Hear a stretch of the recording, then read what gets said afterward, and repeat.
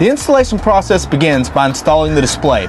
You will need a power drill, a 2-inch hole saw if there's no pre-drilled hole in your dash, wire connectors for connecting the power leads to your vessel's 12 volt system, wire cutting and crimping tools like I have here, and non-adhesive silicone. If you don't have room around your helm area, we offer an adjustable surface mount bracket that can be purchased from our web store. Using the included black and white faceplates and bezels, choose one of the four color combinations, all black, all white, or a combination of black and white. Today I'm going to do all black. You simply place the face over the display, make sure to line up the tabs, then you take the bezel, press it on, and turn it clockwise until it snaps. We also have gold and chrome bezels can be purchased on our website to match your factory dash or give your digital depth sounder a custom appearance. Now let's find a location at the helm that will allow you to clearly view to the display during operation. Keep in mind that the wires for the transducer and power must reach the mounting location. Mark the location with a pencil, then check behind the area for wires, switches, etc. that may be damaged during cutting. If these obstructions are present, please use masking tape to hold them out of the way while you cut. In most installations, you would use a 2-inch hole saw to drill out the mounting hole. In this installation, we already have an empty hole in the dash, so after removing the filler plug, we're ready to insert the gauge. Seal any exposed wood with the non-adhesive sealant. Insert the display from the front of the mounting location. Feed the wires through the flush mount bracket from behind the mounting location and install the bracket and thumb nut. If the location that you have chosen to mount the depth finder is thicker than the depth finder's display will allow, install the included thick dash extension on the display before putting the flush mount bracket on. Now let's get power to the display. It has no on or off switch, therefore you will need to connect the power harness to a power source that will turn the unit on as the power is applied. A key switch or an on-off power switch will be suitable for powering the unit. You simply connect the black wire in the harness to the negative terminal or suitable ground then connect the red wire in the harness to the positive 12 volt switchable power source. Good examples are the key switch or an on-off switch or a terminal block. Supply power to the unit by turning on the power source that you've attached the red and black wires to. The audible alarm should beep three times while the display illuminates all the LCD graphics for two seconds. Three dash lines will then be shown on the LCD display. If the display does not turn on, please refer to the manual for troubleshooting tips. Once you have verified that the depth finder is power, powering on and off properly, it's time to install the transducer. Now that you've installed and done a quick test on the display, it's now time to install the transducer. In this video, we've included instructions for mounting three types of transducers, a transom mount, a glue-in, and a through hole. They are presented in that order. Feel free to use your video player to scan ahead to the transducer type you have chosen. We've tabbed each one with a 10 second black header page so that you can easily stop at the beginning of the section.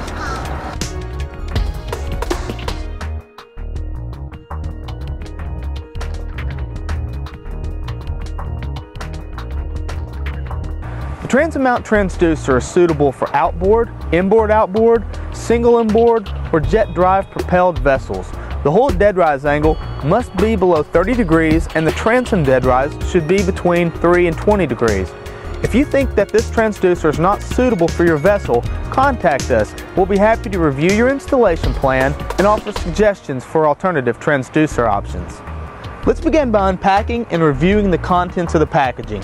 In the package, there should be a transducer with attached harness, a support bracket, a kick-up bracket, two tapered shims, two cable clamps, a clamshell cable cover, two number 10 self-tapping screws, and four number six self-tapping screws. If you do not have any of these items, please contact support at norcrossmarine.com and we will rush one out to you. The tools required for this installation are a power drill, a 5 8 inch drill bit, an 8 inch drill bit, a 9 64 inch drill bit, marine sealant or caulk, a screwdriver, a marker, zip ties, cleanup rags, and a solvent. If you're going to be storing the vessel in the water, you'll also need water-based anti-fouling paint and masking tape. Now let's get started. The first step is to choose a mounting location. To obtain the best performance, the transducer should be mounted in a location where the water flow beneath the hull is aeration and turbulence free. Try to mount the transducer as close to the center line of the boat as possible. To get a good view of the mounting location, with the vessel out of the water, position yourself at the transom and look at the bottom of the hull towards the bow. Using the illustrations in the manual, note anything that could interrupt the clean flow of water to the transducer mounting location. Once the desired location is determined, mark it with an X using your pencil. After selecting the mounting location, let's assemble the transom mount bracket. With the locking tab in the up position, align the transducer and bracket. Then slide the transducer into the pivot bracket until it cannot slide any further. Press the locking tab down against the pivot bracket until it locks firmly into place. Then slide the pivot bracket arms through the back of the screw bracket as pictured. Grasp the transducer in your hand like this, rest the screw bracket against a solid object like the swim platform, and press the pivot bracket into the screw bracket with enough force until it snaps into place. Next, locate the transom template inserted in the operator's manual. At the desired mounting location, previously marked with an X, position the template so the arrow at the bottom is aligned with the bottom edge of the vessel, making certain that the template is parallel to the waterline of the vessel. Affix the template to the hull with tape. Using a 9 64 inch 4mm drill bit, drill two holes 7 eighths of an inch deep at the locations indicated on the template marked with an X. The bracket is designed for a standard 13 degree transom angle. To determine if the plastic shim is needed, position the transducer at the desired location. Using a straight edge, compare the underside of the transducer relative to the underside of the hull. The stern or trailing edge of the transducer should be about 1 16th to 1 8th of an inch below the bow or leading edge of the sensor. Apply a marine sealant to the threads of the two number 10 one and a quarter inch self-tapping screws and screw the bracket to the hull. Do not tighten the screws completely until you position the transducer.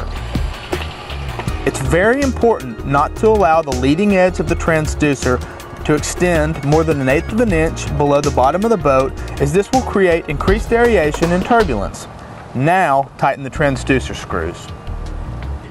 Now route the transducer cable over the transom through a deck or splash well drain hole or through a new hole drilled in the transom.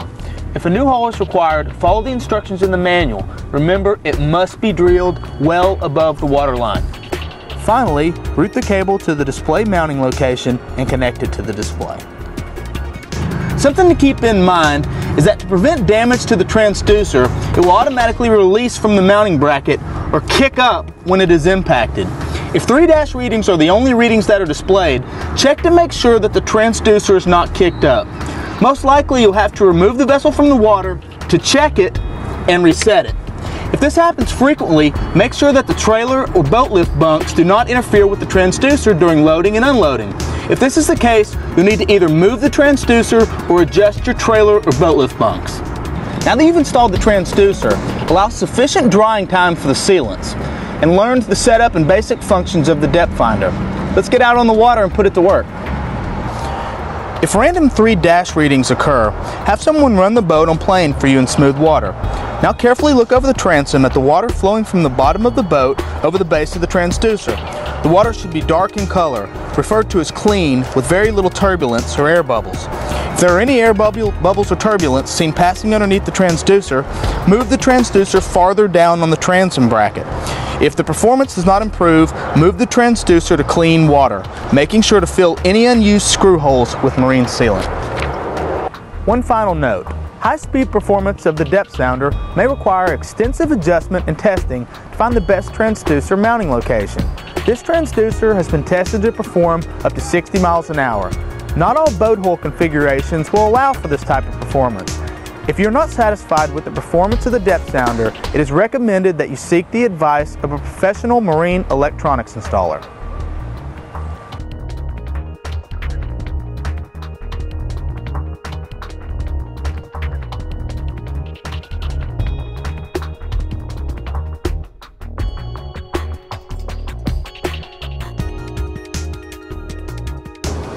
This transducer is suitable for vessels with the following hull types high-speed boats to increase the performance of the depth sounder, trailer boats to prevent accidental damage to the transducer from trailering, shallow draft boats to prevent accidental damage to the transducer from intentional or unintentional ground, non-cored holes, or aluminum holes thinner than 1 8 of an inch. Inboard vessels have a lot of running gear that creates significant acoustic noise and water turbulence. If you think that this transducer is not suitable for your vessel, contact us by phone, email, or at our website, and we'll be happy to review your installation plan and offer suggestions for alternative transducer options. The tools required for this type of installation are plastic bag, petroleum jelly, 30 grit sandpaper, a two-part slow cure epoxy, and tie wraps. The most important thing to keep in mind is that transducers can only be glued inside holes that are solid fiberglass or up to an eighth inch aluminum. However, since boat holes absorb acoustic energy, transmitting through the hole reduces the transducer's performance. It's important to note that fiberglass holes are often reinforced in places for added strength. These cored areas contain wood or structural foam, which are poor sound conductors. To achieve optimal performance, find a location where the hole's laminate is solid fiberglass and not cored. Let's begin by establishing a baseline for the depth finder readings. Anchor or moor the vessel in a body of water away from other boat traffic. Make sure you turn off all other sonar devices on your boat and locate the vessel at least 50 feet from the nearest vessel. Now, plug the transducer cable into the back of the depth sounder display and turn the display on. Once the display is turned on, it will display the test sequence and then display three dashes. Place the transducer close to your ear. If the transducer is properly connected, it will be emitting a ticking sound, similar to a wristwatch. If you do not hear this ticking sound, recheck your connections or visit our customer service center for advanced troubleshooting. Before proceeding, make sure the keel offset feature is turned off. If it's on, the KO icon will be illuminated on the depth finder display you will need to set the keel offset to zero. Now hold the transducer over the side of the vessel so that it's the same distance below the water surface as it would be in the hole mounting location. Note the depth that is being displayed on the depth sounder. Remove the transducer from the water and proceed to testing the depth readings with the transducer at the desired in-hole location. The first thing we need to do is find a proper location for the transducer. There are three methods that we can use to test that location. The first method is the plastic bag method. If the whole surface is not smooth, sand it with 30 grit sandpaper until a smooth surface is obtained. Partially fill a thin plastic bag with water. Place the transducer inside and close it tightly with a tie wrap. Wet the surface of the hole and press the transducer face against the hole through the bag and check the depth reading on the display. The second method is to set it in the bilge water. If the transducer will be located in an area of the hole that holds water, place the transducer against the hole and allow bilge water to cover the surface where the transducer touches the hole. Now check the depth reading on the display. The third method is petroleum jelly. If the whole surface is not smooth, sand it with 30 grit sandpaper until a smooth surface is obtained, coat the face of the transducer with petroleum jelly and press it against the hole with a twisting motion. Use duct tape to hold it in place now check the depth reading on the display.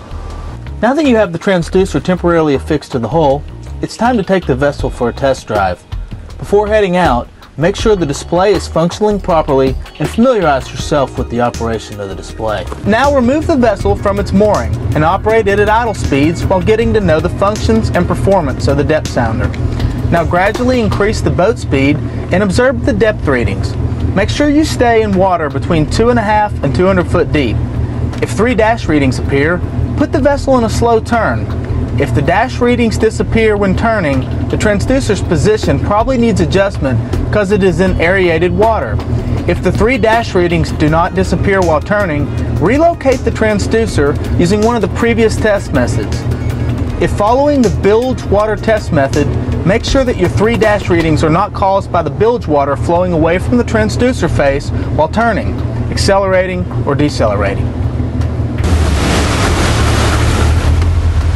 If you're happy with the performance of the depth finder, then mark the area with a pencil or marker and proceed to gluing in the transducer. Do not proceed to the next step until you are satisfied with the readings. If you have difficulties, please visit our customer service center or our website or call 888 667 2767 for technical assistance.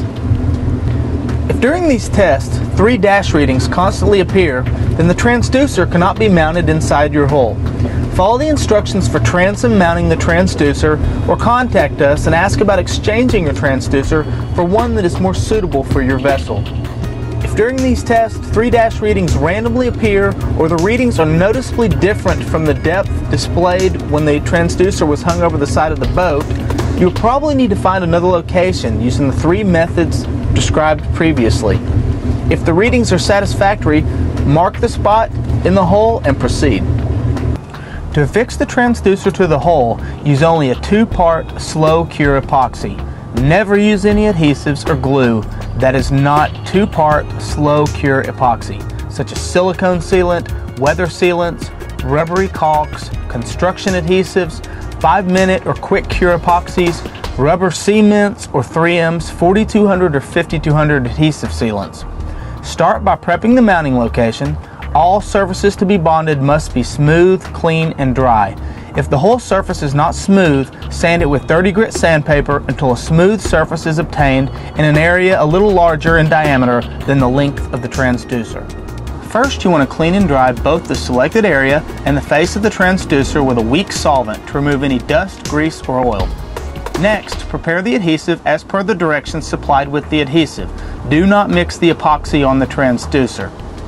Next, you want to apply the mixed epoxy to both the entire face of the transducer and the inside of the hole. Press the transducer face onto the hole with a twisting motion to expel all the air bubbles. If the hole is slanted, temporarily secure the transducer in place with duct tape. Allow the adhesive to cure as per the manufacturer's instructions. Finally, route the cable to the display mounting location and connect it to the display. After the epoxy is dried per the manufacturer's recommendation, take the vessel for a ride. If you're not happy with the readings, there are very little adjustments you can do at this time. You will need to remove the transducer and return to step one of the glue-in instructions. If you need to remove the transducer, place a piece of wood against the base of the transducer, gently tap the piece of wood with a hammer. Do not strike the transducer directly. Once the transducer is removed from the hull, sand the excess epoxy adhesive off with sandpaper. Do not use chemicals to remove the excess epoxy.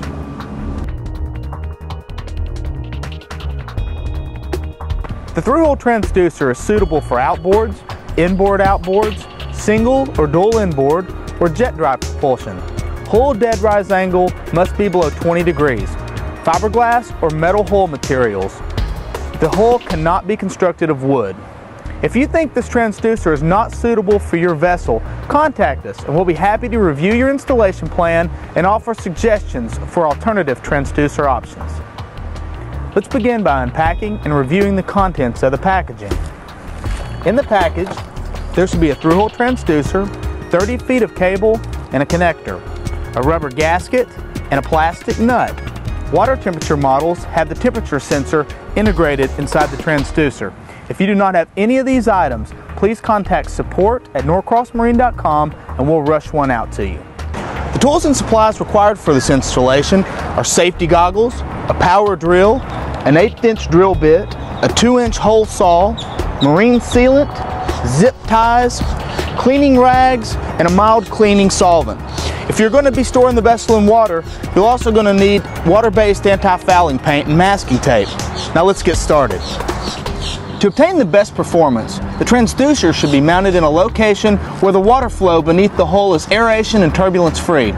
Try to mount the transducer as close to the center line of the boat as possible. Consult the boat manufacturer for the best transducer placement. If this information is unavailable, follow the guidelines in the installation manual. To get a good view of the mounting location, with the vessel out of the water, position yourself at the transom and look at the bottom of the hull towards the bow.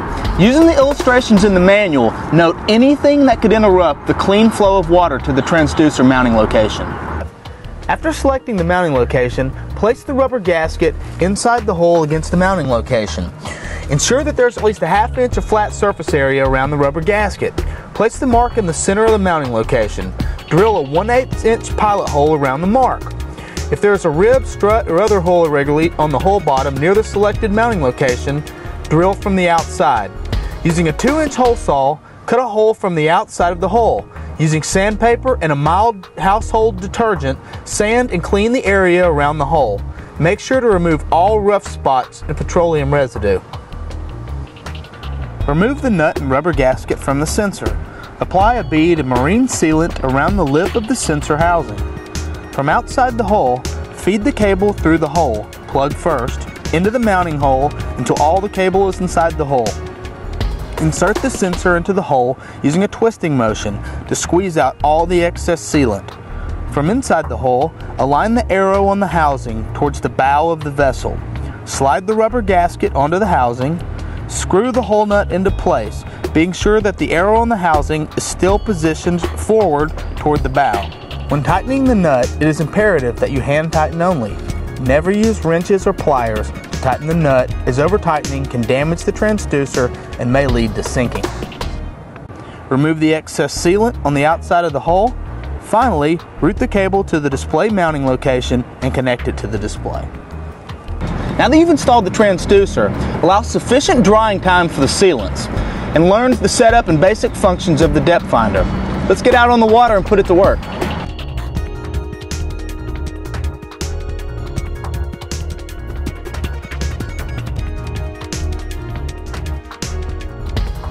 Now let's get to know your depth finder. We'll start with the shallow water alarm. The shallow water alarm function can be set for depths ranging from 3 to 200 feet and triggers an alarm when the depth is less than the setting. You must be in depth sounder mode to adjust this setting.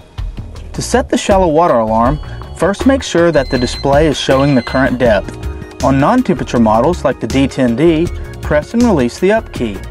On models with temperature, like the D10DX, press and hold the up and down keys for approximately 3 seconds until the upward and downward facing triangles illuminate. Then press the up key to enter the shallow water alarm. The bell icon will illuminate and the upward facing triangle will blink. Pressing the up key will increase the selected value, pressing the down key will reduce the value. Pressing and releasing the key will change the value in 1 foot increments per second. Holding down the key will change the value in 9 foot increments per second. After the desired setting is achieved, the display will return to normal operation after 5 seconds. The upward facing triangle and the bell indicator will now be illuminated to indicate that a shallow water alarm is set. When triggered, the depth alarm sounds an audible buzzer for 10 seconds while flashing the warning LED and the upward facing triangle on the display. After 10 seconds, the audible alarm mutes and the warning LED and the icons continue to blink until the depth increases or the alarm is reset. To reset the alarm, repeat the previous steps. The deep alarm function can be set for depths ranging to 3 to 200 feet and triggers an alarm when the depth is more than the setting. To set the deep water alarm, first make sure that the display is showing the current depth. On non-temperature models like the D10D, press and release the down key. On models with temperature like the D10DX, press and hold the up and down keys for approximately 3 seconds until the upward and downward facing triangles illuminate. Then press the down key to enter the deep water alarm. The bell icon will illuminate and the downward facing triangle will blink. Pressing the up key will increase the selected value. Pressing the down key will reduce the value. Pressing and releasing the key will change the value in 1 foot increments per second. Holding down the key will change the value in 9 foot increments per second. After the desired setting is achieved, the display will return to normal operation after about 5 seconds. The downward facing triangle and the bell indicator will now be illuminated to indicate that a deep water alarm is set. When triggered, the depth alarm sounds an audible buzzer for 10 seconds while flashing the warning LED and the downward facing triangle on the display. After 10 seconds, the audible alarm mutes and the warning LED and the icons continue to blink until the depth decreases or the alarm is reset. To reset the alarm, repeat the previous steps. The keel offset feature is used to adjust the depth readings displayed by the device to compensate for the depth of the water required for your vessel to operate safely, typically referred to as your vessel's draft. For example, if your boat's draft is set to 3 feet, the keel offset feature should be set to 3 feet. The device will then subtract 3 feet from the actual depth readings and display this figure as the depth. If the water depth is 5 feet and the keel offset is set to 3 feet, the depth will be displayed as 2 feet, indicating to the operator that there is 2 feet of safe operating water. The maximum keel offset setting is 20 feet and can be set in one tenth of a foot increments.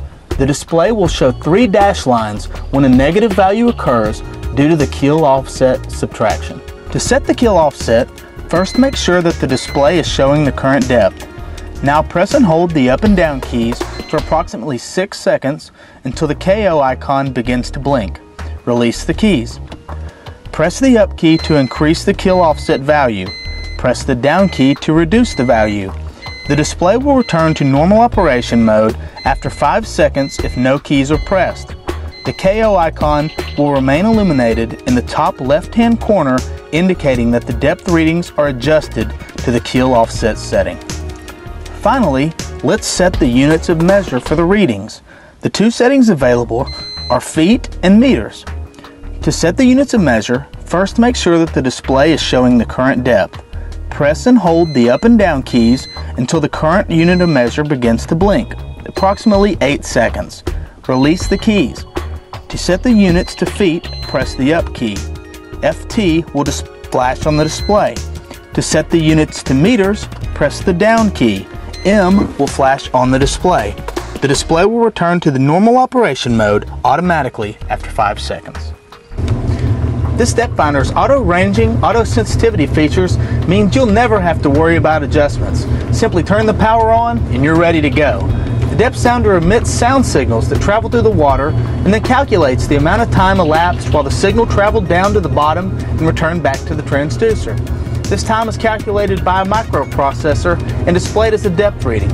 Extremely dirty water, a very soft bottom, high speeds, deep water, aeration, or a combination of the above will result in incomplete or inaccurate readings. Under these conditions, variable readings or three dashes will be displayed.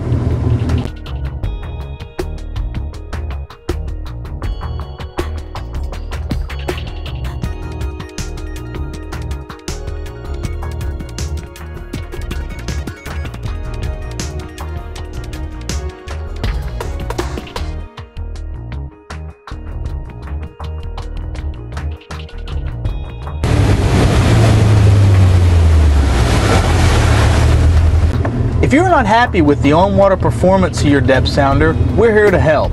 Rest assured that this depth sounder is engineered to the highest standards and is part of the best-selling family of depth sounders in the world. It is highly likely that your dissatisfaction is due to improper installation. Nine times out of ten, performance issues are the result of improper installation of the transducer. I cannot stress enough the transducer must be mounted so that it has an uninterrupted supply of clean, aeration-free water. If the depth finder gives accurate readings while the vessel is sitting still, but changes to dash lines while the vessel is moving, it is almost always the result of aeration to the transducer face. In this case, you should review the transducer installation guide and adjust the transducer as suggested. Thanks again for purchasing a Hawkeye Depth Finder.